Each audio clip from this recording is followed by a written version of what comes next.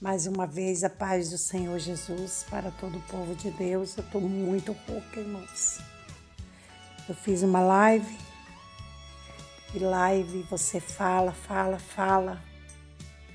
E é muito prazeroso para mim estar tá fazendo a obra de Deus.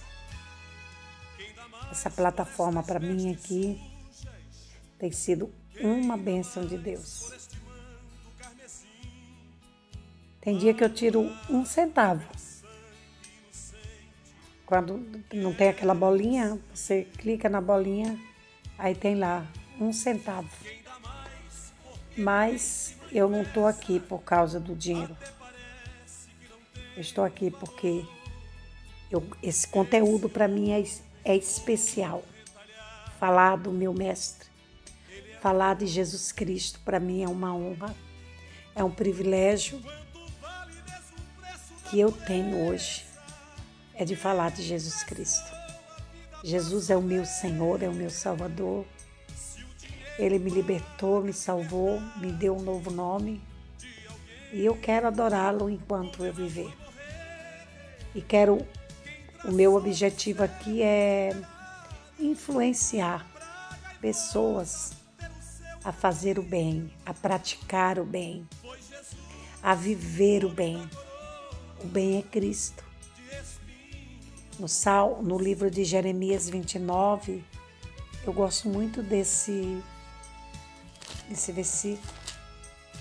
Não porque ele massageia ego, mas é porque o amor de Deus é tão lindo por nós, tão lindo, tão lindo, que olha o que ele pensa de nós, gente. 29, versículo 11 diz assim: Porque eu bem sei os pensamentos que penso de vós, diz o Senhor. Pensamentos de paz e não de mal, para vos dar o fim que esperais. Quem é que espera um fim triste na vida? Todo mundo, por mais louco, por mais maluco, por mais. É, maluco é a palavra, né? Que seja, ele espera um final feliz. Ele espera amar, ele espera ser amado. E se nós fizermos as coisas ao contrário, é porque nós temos um adversário. Né? O inimigo da minha e da tua alma, ele, enquanto ele puder, ele vai fazer de tudo para que eu receba o mal e retribua com o mal. Para que eu faça o mal para você e você faça o mal para mim. Mas os pensamentos de Deus sobre mim e sobre você são pensamentos de paz, para nos dar o fim que nós esperamos. Deus nos ama, Deus ele te ama. E a Bíblia diz que ele te ama e me ama tanto que ele deu o seu filho unigênito. Jesus foi massacrado, Jesus foi humilhado, Jesus foi até a cruz do Calvário, foi crucificado para salvar o meu e o teu pecado, para nos livrar da culpa que nós tínhamos de morte.